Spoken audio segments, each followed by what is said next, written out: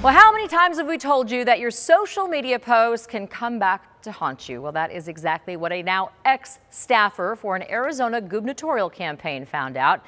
Xenia Arana was the digital director for Democrat David Garcia. That is until she was called out for her personal Twitter post, which includes this post. An open letter to Arizona followed by an expletive and disparaging remarks about police officers.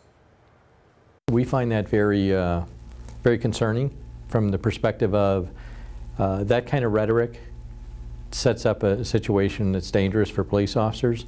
Certainly shouldn't be a tone of any elected official. The Garcia campaign tells ABC 15 the tweets were not in line with the messages or values of the campaign. ABC 15 also spotted foul language tweets for one of Joe Arpaio's staffers in the U.S. Senate race. Melissa Blasius will have more on that tonight at 6.